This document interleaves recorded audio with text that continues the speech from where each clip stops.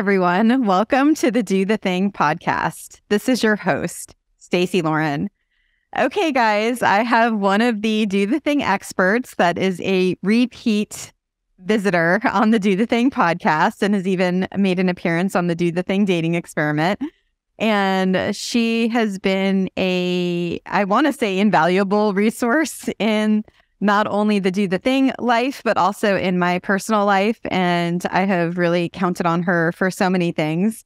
And it's interesting because I asked her to come on the podcast so we could talk about accountability, because that's something I've been exploring more now that I've been doing these challenges and I see people that really want to do the thing and that are sometimes still struggling doing it.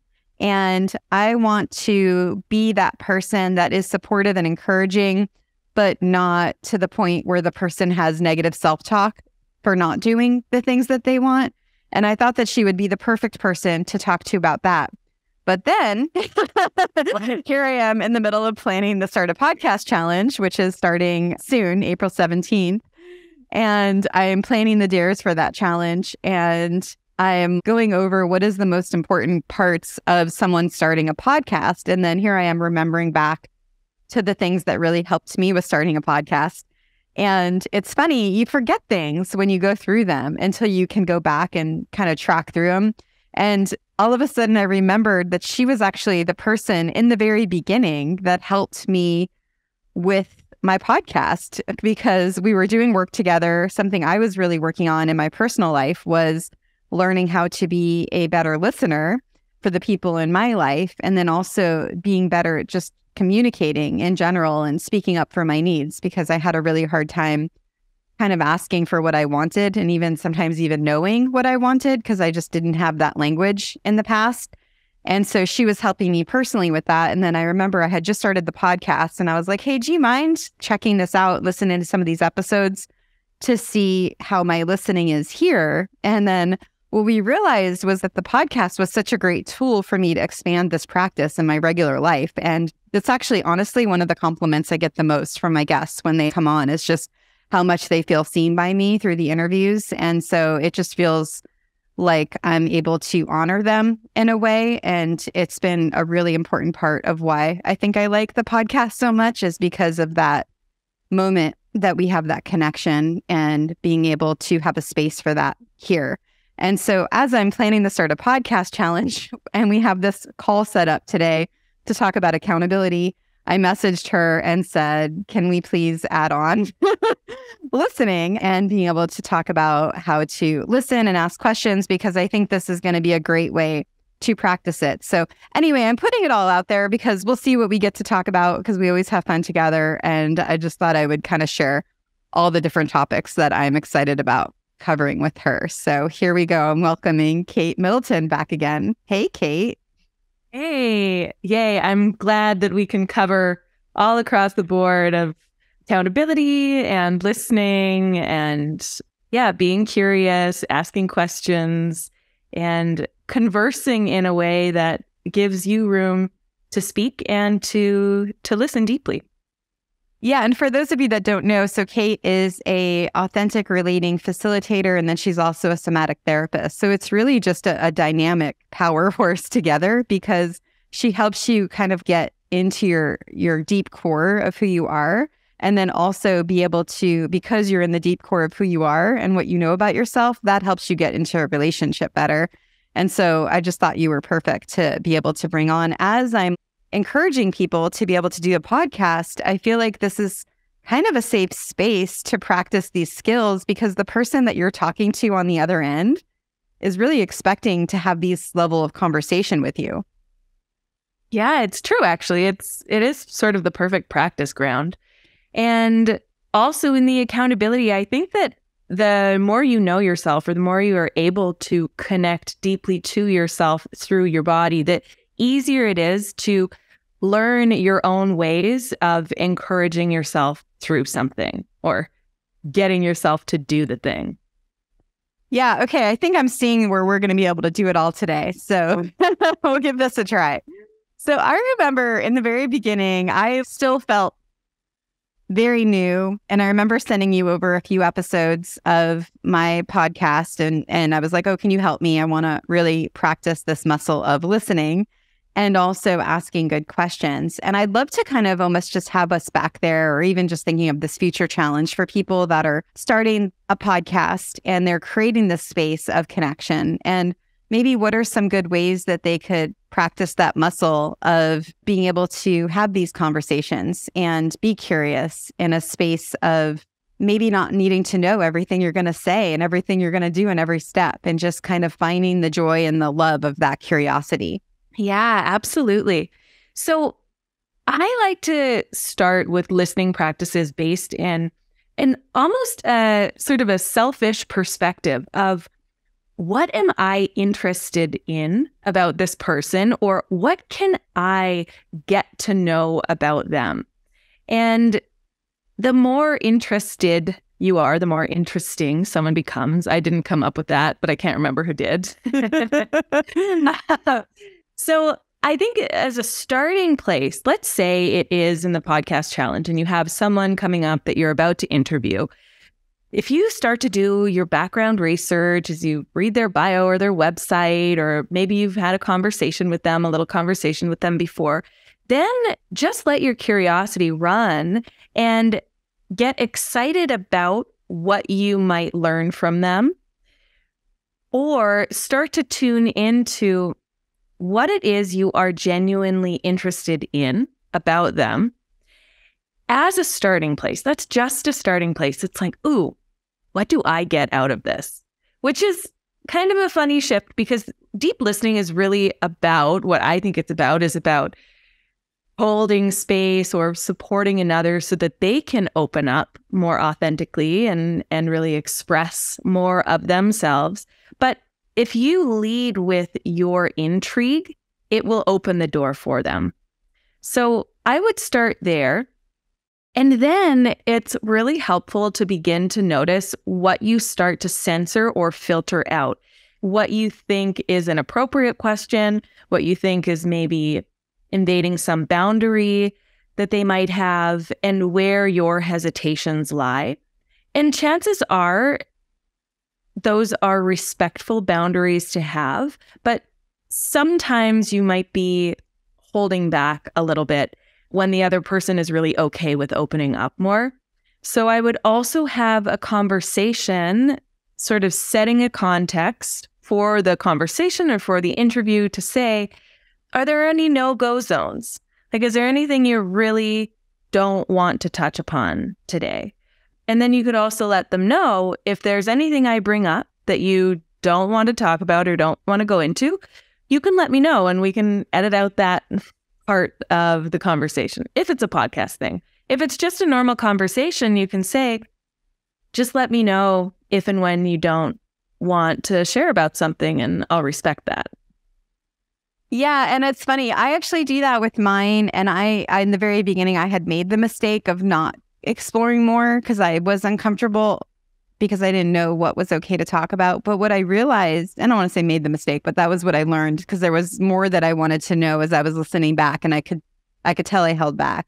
And what I've realized as this podcast has gone on is people really do like having the space to be able to share those things because those experiences are what make us who we are. And I do say the thing about I'm comfortable editing. So if I go somewhere you don't want to go, let me know.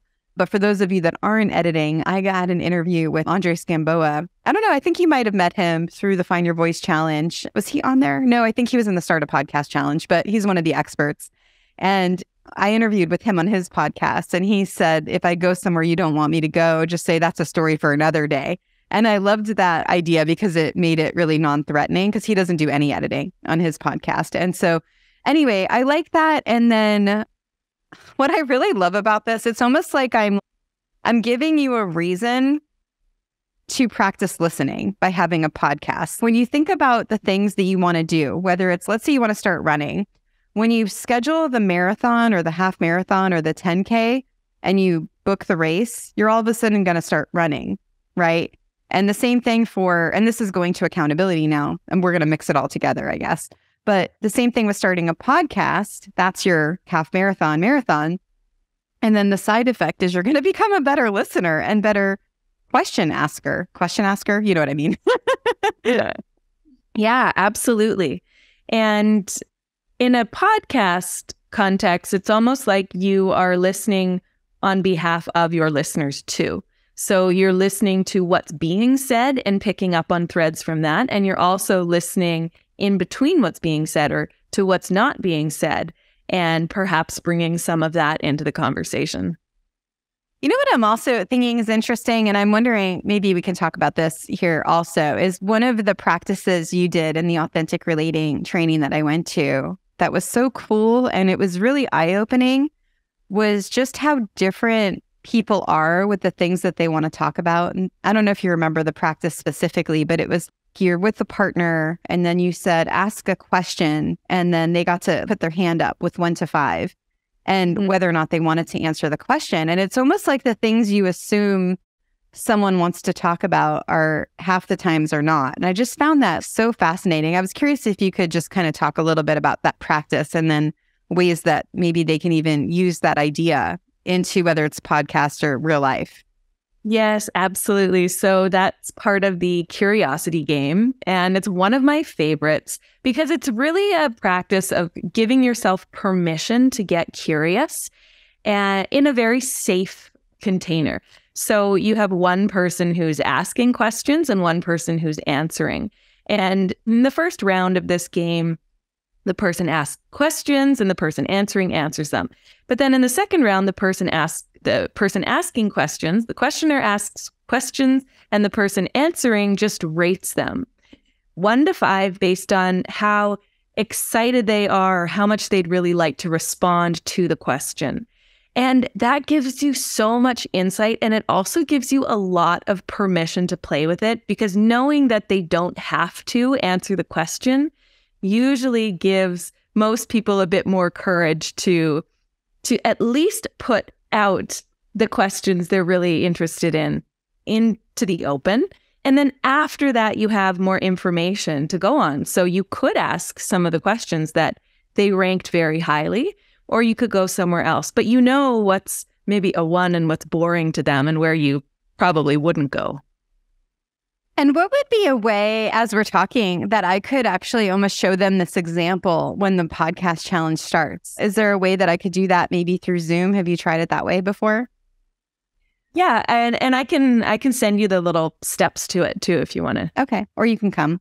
Okay. What I'm thinking, the reason why I think it might be cool, whether they're hearing or they see it real life, is the reason why I think it's important is because everyone cares about different things. And I think that's the other thing that the podcast gives you the ability to see because you're talking to so many people in such a limited amount of time that you're able to really understand people's perspectives and you're able to almost see things from just a different lens from all the different experiences that you're having. And I think that game is kind of like a starting point for that.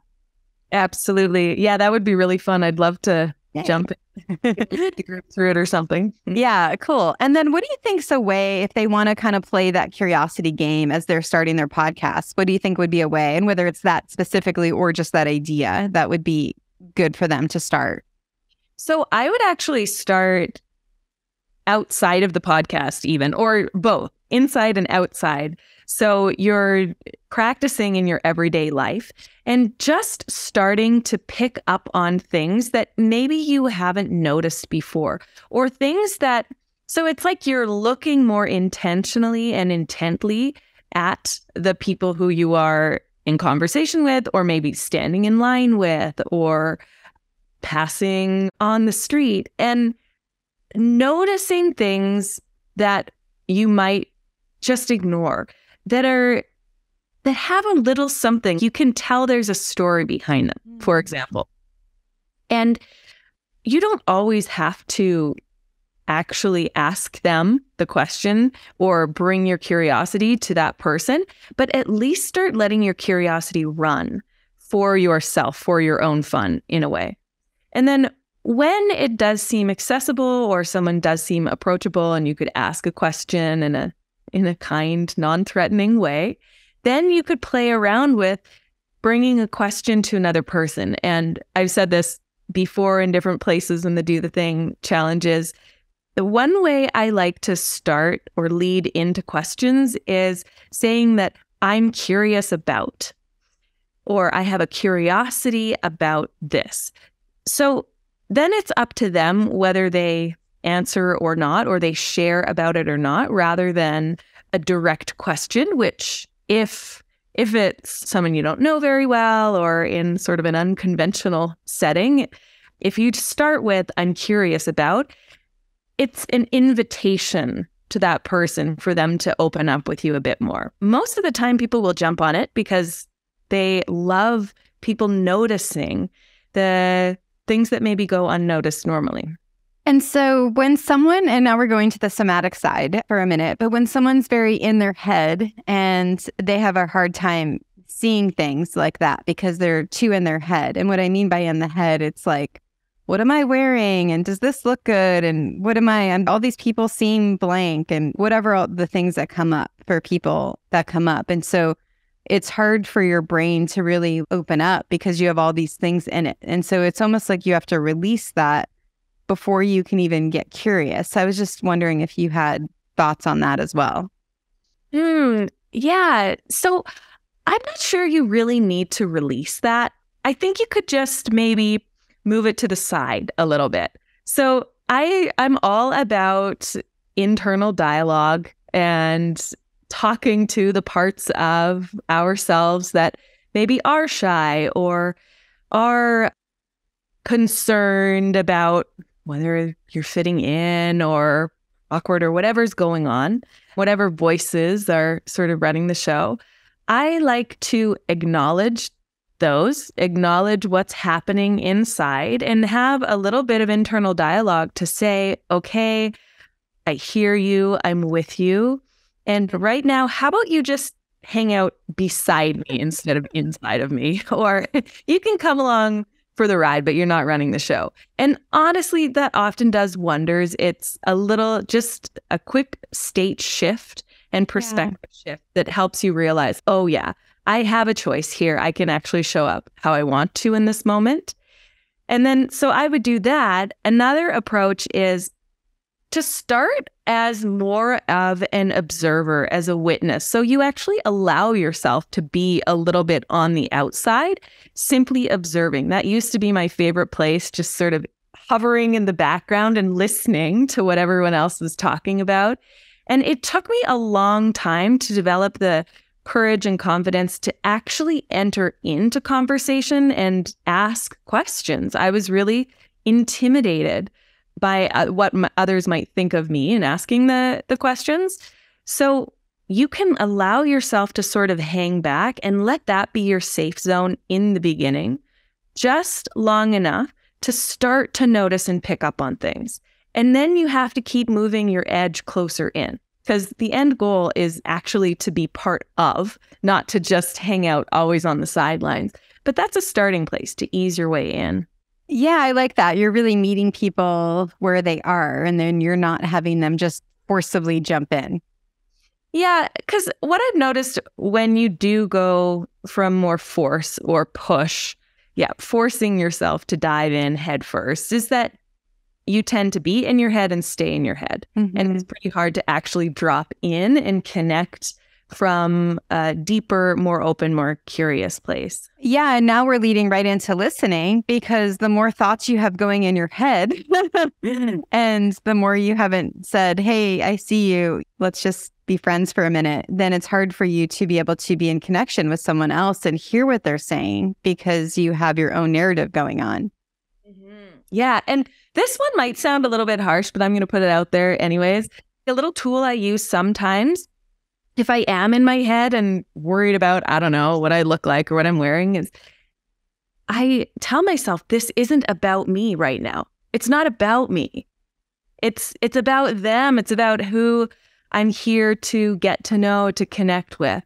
And that often is a bit of a it's like, oof, oh yeah, okay.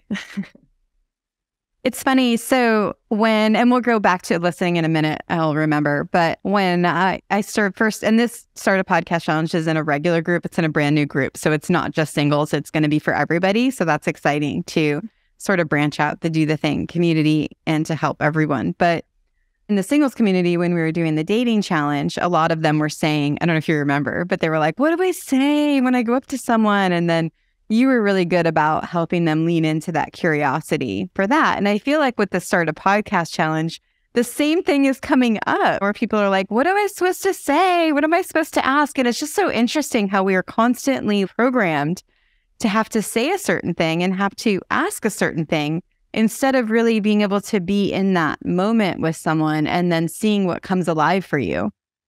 Mm-hmm. Absolutely. Absolutely. And I think it's unraveling a lot of what we've been raised on. You've got to do it right, right off the bat. You must be polite and approachable and all of these things that have us shaping our words and our conversations in ways that don't really facilitate deep and meaningful connection. So there's sort of an unlearning process that has to happen, but I think your challenges are your challenges are very good at that. so I'd love to hear what you think about someone that is pretty much starting their podcast. They're interviewing their first person. They're very much in their head of what are they going to say. And just being able to be in that moment of connection and what would what advice would you give them? So one thing that I I like to consider when not just doing podcast interviews because I don't have my own podcast maybe one day maybe I'll do your challenge. But in in a lot of conversations and and even coaching or therapeutic settings that you don't have to be in the lead you're actually following.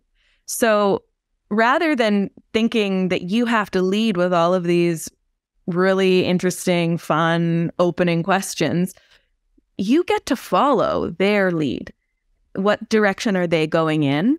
How are they informing you of what they like to talk about through gesture, through tone of mm-hmm. voice, through facial expression?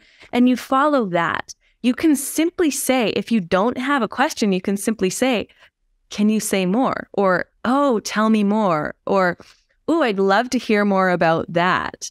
And that also gives you a little bit of time to figure out where you want to go next or what question you want to mm-hmm. bring in next. But I really like to consider that you're following more than leading in that kind of a context. Yeah, and you're making me think I when I started the Do the Thing dating experiment, the new podcast, and I actually have one with you. I have little outtakes of me asking the guests questions. And I think you were one of them. Actually, I know you were one of them. Asking the guests what questions do you think I should ask? And so that's kind of just another way and I'm even thinking in real life, you could do that. What would be a question that you would like me to ask that would help you feel supported? And it's like, it's just such a non threatening way to get to know someone and what they need. Or if, let's say, they're not feeling acknowledged or they're not feeling something, it's like, what, what would you like? And it's just being able to just give yourself permission to be open in a way in support of this connection. hmm hmm Absolutely. Yeah. And you can you can also play with considering what you would love to be asked, knowing that it could be the complete opposite as someone else, but there might be something in that of what you might like to be asked, you might also like to ask. Mm-hmm. So you could also tune into, hmm, what's fun for you to talk about? What's fun for you to learn? And where's the overlap there with this other person? I'm glad you said that because one of the things I'm really interested in helping people uncover is what really gets them excited because a lot of people are asking, Oh, can you help me with monetization of the podcast? And I'm like, I don't even want to talk to you about monetization until you get into what you actually want to talk about that makes you excited, not what they're excited or what you think people will pay money for. What's going to get you up out of bed that you cannot wait to talk to this person about. Like, I could not wait to talk to you about having this conversation because that's how interested I am in listening and questions and podcasts and personal. And I'll talk about in a minute, but also the combination of how our life assets, our lateral skills, and being able to do all these things. And so it's just such a love of just curiosity for me because I really tapped into what gets me excited. And that's why I think in the beginning, you just want to explore that. Mm-hmm. Absolutely. I think that's so important. I think it's really important also to know why you are doing it and that you're doing it for yourself and your very own reasons. And let that inform every conversation that you have. It's almost like your mission, vision, and values type of thing that you're bringing into your podcast. It's like, what are is the foundation that you want to build your podcast upon? What kind of quality or conversations do you want to be having? What do you want to be infusing into these conversations in terms of, of qualities? Is it authenticity? Is it presence? Is it play? Is it, I don't know. what else? There we go. and then you draw upon that. Okay, so this is what I really want to point out for the listeners. Since Kate said that she doesn't have a podcast, it's funny because I know by this point, I know hundreds of people that have podcasts, right? And some that are literally supporting themselves on their podcasts, and they're all great. And everyone, I have great relationships with them. But it's funny that I, and I'm bringing different people on for different things, but I really deliberately brought you on for this because it doesn't matter that you don't have a podcast. It matters that you know the skill of listening, you know the skill of connecting, you know the skill of being able to understand how to discover yourself and then the somatic therapy piece, there's something really powerful about that that I want the listeners to hear because it shows how everything you do in life ends up being a life asset for you. And then you can apply it in any area of your life. Yeah, mm-hmm. absolutely. Absolutely. Something that just popped up as you were saying that was I would also really recommend for those who are creating a podcast to do a little inventory about their favorite podcasts, who they love to listen to, and why. Is it for someone's voice? Is it for their jokes? Is it for the information? Is it for the people they have on? What do you love about it? And borrow some of those elements. Do not copy them, but borrow some of those or let those inform the direction you take on your own. Okay, I'd love to talk about listening now because listening is such a skill that really is not practiced by a lot of people. And I think the podcast is such a great vehicle to be able to practice listening. So I'd love to just give some advice around that. Yeah. Okay. So, number one with listening is to slow down. If you are going fast, if you are talking a mile a minute or you are supporting a fast paced conversation, you are missing things. That's just what's happening. Because there is so much being expressed beyond the words that is worth picking up on. Our body language is so much more of our communication than our words, actually. And there's so much to pick up on there from the tone of voice, the volume, facial expression, gestures, if you're doing video. If not, then you can go with tone, volume, intonation, that kind of thing. But I would say first, slow down, set an intention to listen. I really believe in setting intention as a way to clear mental clutter and excessive thoughts that block, that get in the way of your ability to listen. So if you slow down and set an intention to go slow and to listen, that already sets you up. And then from there, I really encourage you to weave in pause and moments, spacious moments in your conversation that give you time to breathe and the other person time to breathe it also gives you a little reset and allows you to take in what you've been listening. Because that's the thing about listening is you can think of listening as its own digestive tract. Things have to move through before you can take in the next wave of information.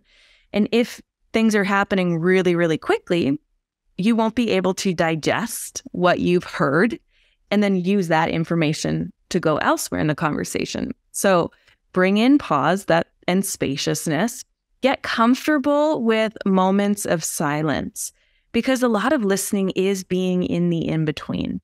So start to get comfortable hanging out there and not needing to fill things in. Most people will really appreciate you for that. So, those are all kind of setting you up to listen. And then what are you listening for? That's my question. What are you listening for?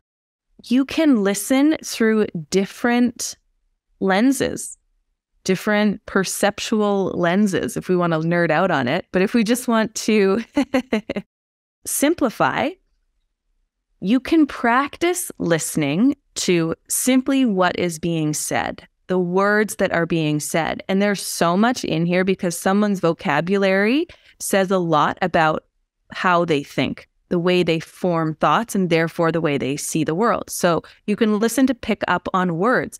What kind of words do they use? Oh, that's an interesting word, one that I don't really use, but okay. You could check out what they actually mean by that. So they say something, maybe you don't quite get it. You could follow up on that. So you're listening to the words, what is being said. You can also listen more for the tone of their voice, the pacing, the so you listen when they they get animated or they get excited and their volume increases or their voice kind of lifts. Maybe they start talking a bit faster or they slow way down. You can listen for those changes and what's going on there. You can also listen for, well, this is, it, I consider it still listening, but it's observation too movement, gesture, what they're doing with their hands, where they're looking with their eyes, if they're shifting or not, or making faces or not. And from any of those pieces, you're not trying or when I'm doing this, I'm not trying to get any one thing from it, but it informs my curiosity. If I notice a big hand gesture or if I notice, uh, ooh, the voice drops and they become quiet, then I get really curious. What's that about? Let's go there. There's so much in that that it's so cool because I think you said it where so many people think they have to keep a conversation going that they're not able to take space during the conversation. And I think there's so much power in that. And I've seen you model this so beautifully. If I ask you a question, and you guys could see it on past podcast episodes, but there's times that I'll ask Kate a question and she'll actually take 10 seconds sometimes to answer it because she's she's processing the question and wants to answer it thoughtfully. And I I love that about you because you're showing it by example how to actually really come in tune with what it is because I think so many people can be reactive when they're, and then now I'm going in real life, not so much the podcast, but it's so easy to get reactive and have to respond when someone says something to you. And that's where defensiveness comes in. And that's where all these things can come up. But when you're able to actually practice that slowing down, it changes everything for you when you're having conversations. Yeah. It's also nice to feel like you're not in a rush, too inside of your conversations. And I think that allows for more to happen in the conversation and more connection to happen. Can you simplify this for someone that's new? Because I love all of this, but I'm just wondering if they're going to take one piece of this from the listening side, what would be something you would have them take? So, to start off with, I would say take the slowing down and do your best to relax what you can your jaw, your shoulders, your belly, because I think tension also inhibits deep listening. So slow down, relax to the best of your ability, and then start with just listening for the words that really stand out to you. And then that goes right into the next stage of listening, which is reflection. And sometimes it's really, really important to let someone know that you are with them, you're hearing them, you're in on the conversation with them. And to do that, you simply reflect back some of what you've heard. It's also a way to check in to see if you have heard them. And so, if you're listening for what is being said to the words that they are saying, and there are some that really stand out for you, or there's, say, a part of the story that really strikes you, you reflect that back to them so that they know they are being heard. And then you're doing this in both, like I said before, you're basically having that life asset and you have the skill now that you have an uh, opportunity to practice without any risk. I think that's where I just realized is a big thing that I loved about it is there's no risk because you can edit or you can say, oh, I messed up. And it's like you have this permission because someone's already a little nervous when they're coming on your podcast anyway. And so then you're practicing that there and then you're able to then kind of incorporate it into your life, which is actually pretty cool. Yeah, absolutely. And I think this goes along with what you were mentioning about helping people discover what they're really excited about. I think that in any situation where nerves can be a factor, and in podcast setting, for sure, any conversation that they can come up, to remember to make it playful, make it fun for you. Otherwise, why are you doing it? If if there's no fun in it, it just sounds like a drag, right? And I'm sure anyone starting a podcast is doing it by choice. They're not really forced into it. Yeah, you're making me think I really have to make sure I'm incorporating something fun into it. Yeah. And then maybe the the figuring it out, the figuring out what are feel like good questions or not can be part of it. Maybe there's fun in figuring it out.